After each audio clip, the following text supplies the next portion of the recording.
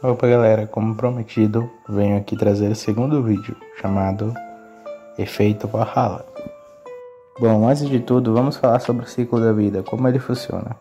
É, animais herbívoros se alimentam de plantas, e com o tempo, esses animais eles crescem, eles evoluem, eles envelhecem e no fim morrem. E após morrerem, com o tempo eles se tornam adubo para novas plantas, e assim essas plantas crescem e se fortalecem graças aos herbívoros que morreram naquele período. Então, o que acontece aqui com as guilds, né, é o mesmo. Quando a guild grande se fecha, ela abre portas para novas guilds pequenas que ainda não haviam crescido. E isso vem acontecendo há muito tempo dentro do lado Legião. Por que isso aconteceu? Não só do lado da Legião, como também nos Elfos. Um exemplo claro dos Elfos, vamos citar um aqui. Esparta. Quando a Esparta fechou suas portas, diversos players PVP que lá haviam foram para outras guilds. A grande parte foi para Immortals, que antes era uma guild nível low em força, e agora é uma guild que ela está batendo de frente com guilds como eram antes a Marvel, é, até mesmo a própria Esparta era. Ou seja, é uma guild que se tornou muito forte com é, né, esse adubo das guilds que morreram. Então, assim, nos MCs, a gente tem outros exemplos, como dentre eles, né, a Salem, é, a própria Eternos, como é atualmente, a Eternos é um, uma grande, assim, usufruidora de, de, de adubos, né, porque muitos players de lá, de outras guilds, acabam indo para Eternos é, e crescendo assim, cada vez mais, e isso acaba virando uma bola de neve, e tornando a, a guild cada vez mais forte. Porque assim, Todas as guilds, elas estão afadadas a um dia cair. Um dia ela fecha suas portas. Não tem como segurar uma guild por muito tempo. É claro, pode durar anos, mas um dia a guild cai. Infelizmente é assim que funciona. Porque não vão ter players que vão levar ela para frente, sem seus próprios líderes. E são pessoas que estão controlando aquelas guilds. Então assim, em algum momento aquelas pessoas não vão poder mais instalar. Elas não vão poder mais auxiliar. Elas não vão ter tempo. Elas simplesmente tem vida. Então, assim, é, pode levar algum tempo, mas acontece. A Legião, é, com o tempo, ficou com uma quantidade limitada de jogadores. Isso fez com que as guilds ficassem cada vez mais fracas, pois era muita guild para pouco player. E com o tempo, isso foi ficando com efeito maior ainda, já que é, a quantidade de players só se reduzia, com pessoas indo para o lado sentinela pela falta de, de assim, é, como posso dizer, sem assim, se dar muito bem aqui nos MCs, é, com os players aqui dos MCs. E algumas até mesmo pararam, tanto por causa desses jogadores, quanto pelo fato da diversão do jogo estar acabando, ou falta de eventos e tudo mais.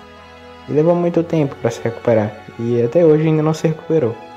Mas assim, é, a, a Legião em si, ela está conseguindo manter mais jogadores ativos. Os jogadores que já, já existiam antes, mas que não eram tão ativos assim. Eles estão conseguindo manter esses jogadores a todo vapor. Bom, e pela falta de players, as guildas mais afetadas sempre foram as, as grandes guilds, porque elas dependiam de um competitivo muito maior do que as outras, porque elas estavam no topo. Então elas precisavam de diversos players ativos. Então, guildas como a Dark e Valhalla dificilmente conseguiam manter seus players ativos ali o tempo todo. Dificilmente conseguiam manter a guild 100 barra 100. Porque tinham muitas outras opções de guilds para uma quantidade muito limitada de jogadores. Então, nem sempre as guilds as escolhiam. E a Valhalla era uma dessas guilds. Pelo fato de na era Valhalla ela ter sofrido tanto em relação à quantidade de, de, de hate, digamos assim. Não que esse, esse sofrimento não tenha sido assim é, justo pelo que fizeram, é, eles, nesse sentido, ficaram com dificuldade de encontrar players, porque a guild tinha uma má fama. Então, assim, quem estava livre normalmente não escolheria a Valhalla para entrar. Então, houve ali uma divisão de players em relação às guilds. Era sempre assim. E, bom, com a fechada da Dark, esses players que eram da Dark passaram a se dividir entre a Valhalla e também a Guild Eternals, que antes na época era Lost Haven, mudou na verdade para Warner. É, o Nick tinha mudado para Warner nessa época. Bom, então assim, foi uma fusão de guilds. E quando a Valhalla foi assim embora, é, o mesmo aconteceu. Porque os players que estavam na Valhalla, que eram do Dark e também da Valhalla, se espalharam para toda a legião. Então assim, muitas guilds vão se beneficiar pelo fato do adubo, né, da Valhalla. Porque são players PVP, a Valhalla criou players fortes e isso vai influenciar muitas outras guilds. Porque agora elas estão mais incentivadas a pegar o set PVP também. Por quê? É, não pelo fato da Valhalla ter saído do bloco, mas sim pelo fato de esses players PVP tá mais assim espalhado entre guilds e vão influenciar outras pessoas a também pegar o set PVP. Isso aí vai acontecer com o tempo. Eu mesmo tô quase full PVP.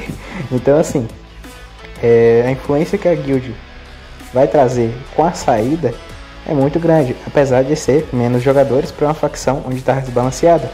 Só que é menos uma guild para balancear, entendeu? E quando eu falo de balancear, não estou falando de nada de nerf de classe nem nada não. Sim quantidade de jogadores, quantidade de players concentrados em uma guild. Bom, de fato a Legião sofreu uma grande perda com a saída da Valhalla. Porém, é um avanço no sentido de que as guilds agora vão ter mais membros para recrutar.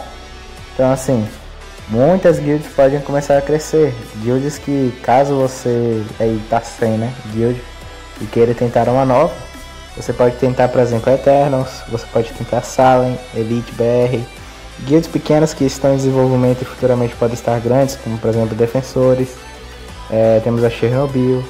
Então assim, são diversas guilds aí que a galera vai ter uma opção, né? Pra poder estar tá em semi-coído.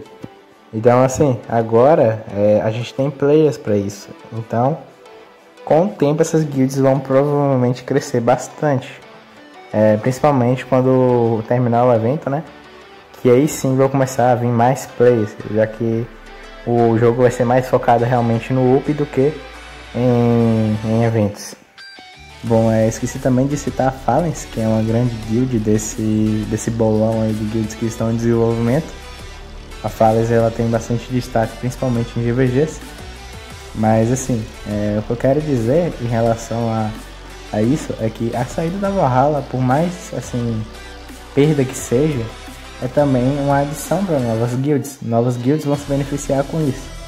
E aí futuramente a própria legião em si, né, vai ficar mais forte, principalmente em guerras. É notável que os players começaram a ir mais.